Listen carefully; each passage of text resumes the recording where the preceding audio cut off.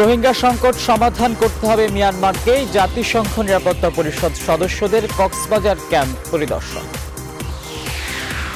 খালেদার অসুস্থতা নিয়ে অপপ্রচার চালানোর অভিযোগ বিএনপির। রাজনৈতিক চিকিৎসকদের সার্টিফিকেট গ্রহণযোগ্য নয়, জবাব আওয়ামী লীগের। রাজীবের পর বাঁচানো গেল না দুর্ঘটনায় পা হারানো রোজিনাকেও চিকিৎসাধীন অবস্থায় ঢাকা মেডিকেলে মৃত্যু। খুলনা ও গাজীপুরে ভোটের লড়াইয়ে কেন্দ্রীয় নেতারা তেরো মে থেকে বিজেপি মোতায়েন, ইভিএম থাকছে দুই সিটিতেই।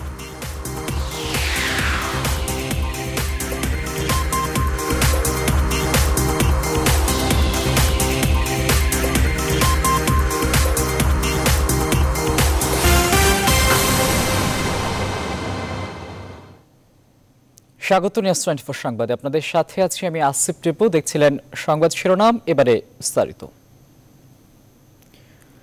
রোহিঙ্গা সংকটের উৎপত্তি মিয়ানমারে, এর সমাধান মিয়ানমার সরকারকেই করতে হবে। কক্সবাজারে রোহিঙ্গা ক্যাম্প পরিদর্শন শেষে এমন মত দেন সফররত জাতিসংঘ নিরাপত্তা পরিষদের প্রতিনিধি দলের সদস্যরা।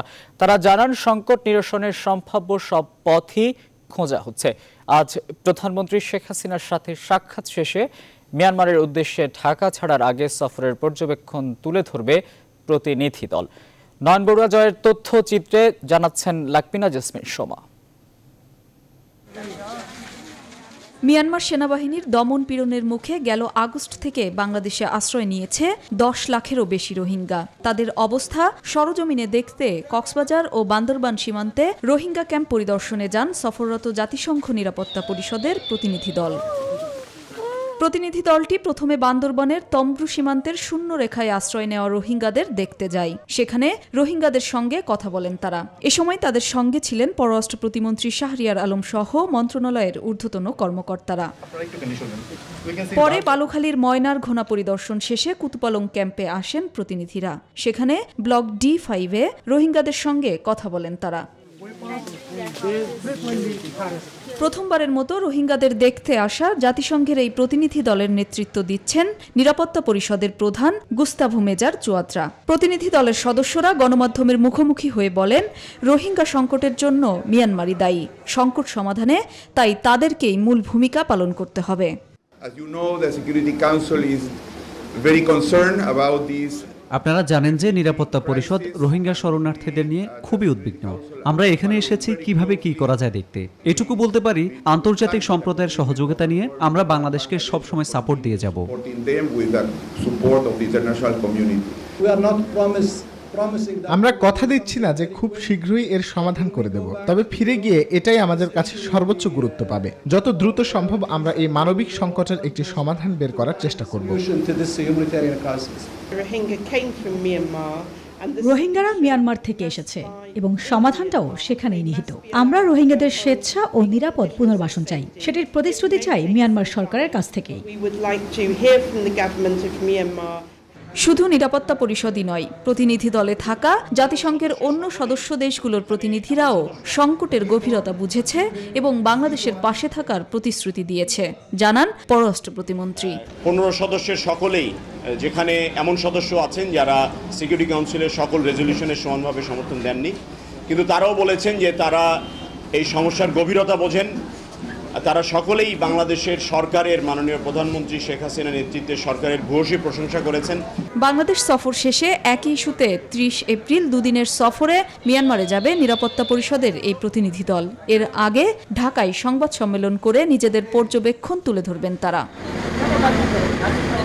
Lakmina Jesmin Soma, news twenty Dhaka. এদিকে জাতিগত নিধন যজ্ঞের শিকার হয়ে মুসলিম রোহিঙ্গার পর এবার দেশ ছেড়ে চীনে পাড়ি জমানোর চেষ্টা করছে মিয়ানমারের উত্তরাঞ্চলের কাচিন প্রদেশের খ্রিস্টানরা। রোহিঙ্গাদের দেশ ছাড়া করার পর এবার কাচিনের খ্রিস্টান আদিবাসী সম্প্রদায়ের উপর দমন পীড়ন চালানোর অভিযোগ উঠেছে মিয়ানমারের সেনাবাহিনীর বিরুদ্ধে। কাচিন বিদ্রোহীদের সঙ্গে সেনাবাহিনীর নতুন করে সংঘাতের বাস্তবতা এলাকা ছেড়ে পালাচ্ছেন এই অঞ্চলের মানুষ। জাতিসংঘ বলছে, এপ্রিলের শুরু থেকে এখন পর্যন্ত চার হাজার মানুষ তাদের বাড়ি ঘর ছেড়ে পালিয়েছে। মিয়ানমার সেনাবাহিনী জানিয়েছেন, বিমান হামলা ও গোলা নিক্ষেপের মধ্য দিয়ে বিদ্রোহীদের দমন করা হচ্ছে। এই সংঘাতের কারণে হাজার হাজার মানুষ বাস্তুচ্যুত হয়ে পড়েছেন। সংঘাত কবলিত চীন সীমান্ত এলাকায় অনেকেই আটকা পড়ে আছে বলে আশঙ্কা করা হচ্ছে।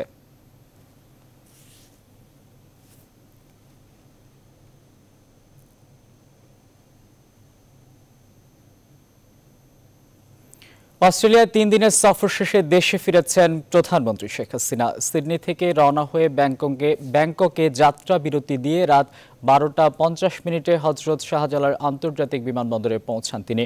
অস্ট্রেলিয়ার স্থানীয় সময় রবিবার বিকেল চারটায় সিডনির কিংসফোর্ড স্মিথ বিমানবন্দর থেকে থাই এয়ারওয়েজের একটি নিয়মিত ফ্লাইটে রওনা হন শেখ হাসিনা ও তার সফরসঙ্গীরা।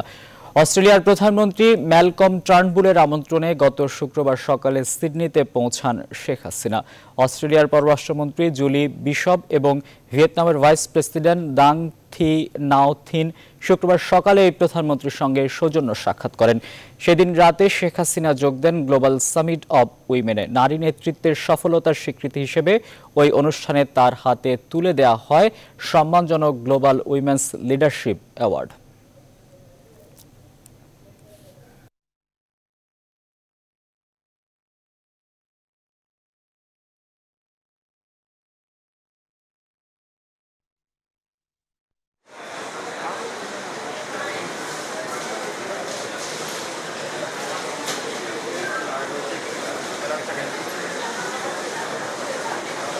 colour এক এক কালার এক একটা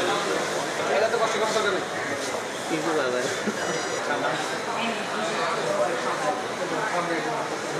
আরে একদম মারি দিল। টলির এই পাশে আসিয়া সরবে